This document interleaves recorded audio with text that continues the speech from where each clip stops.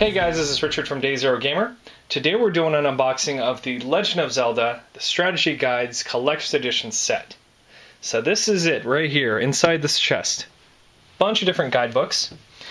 And it is extremely heavy because there are a ton in here. Let me go ahead and crack this open. And we will take a look at each and every single one of them that is inside.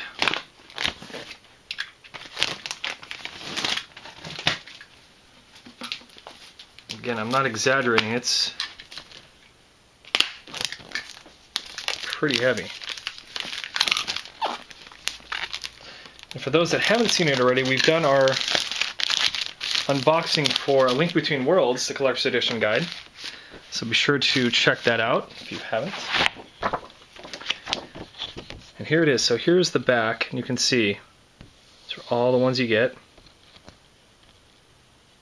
Bookmark, snazzy case, and of course, certificate of authenticity. All right.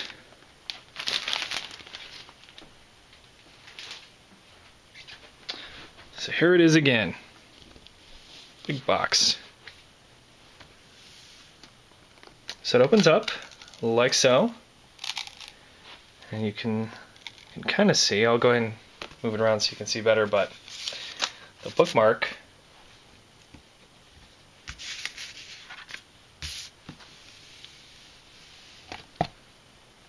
right there.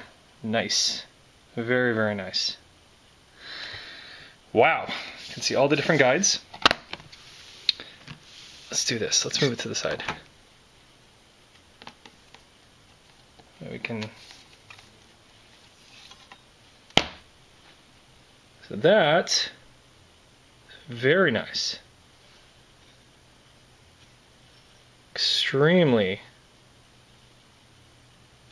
clean. It's nice and debossed. Beautiful. Absolutely beautiful. All right, and we have inside this envelope certificate of authenticity.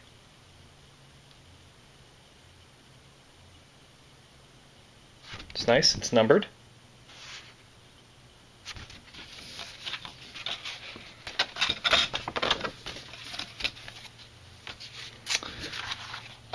And guides themselves. Okay. So we have the Wind Waker HD. I'm going to do my best to to show you them fronts here.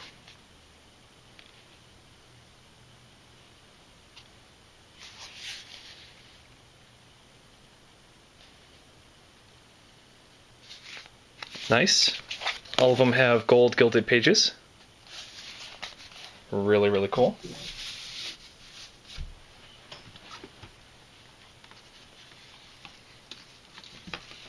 Skyward Sword.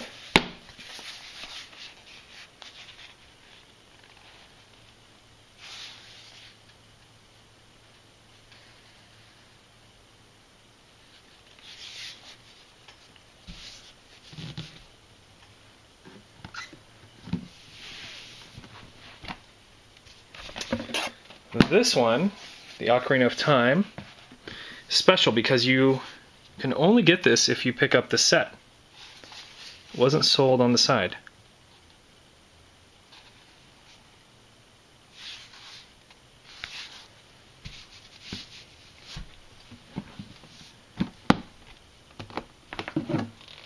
Spirit Tracks.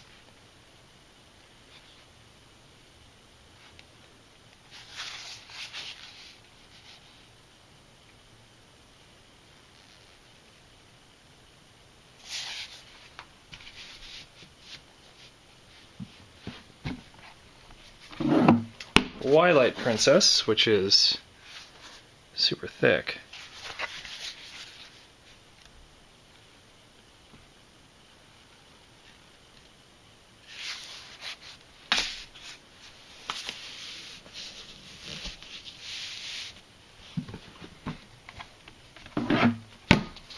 then we have Phantom Hourglass.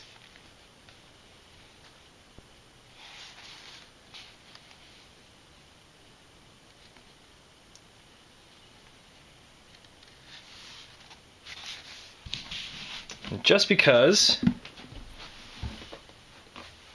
here is the one we did earlier, A Link Between Worlds.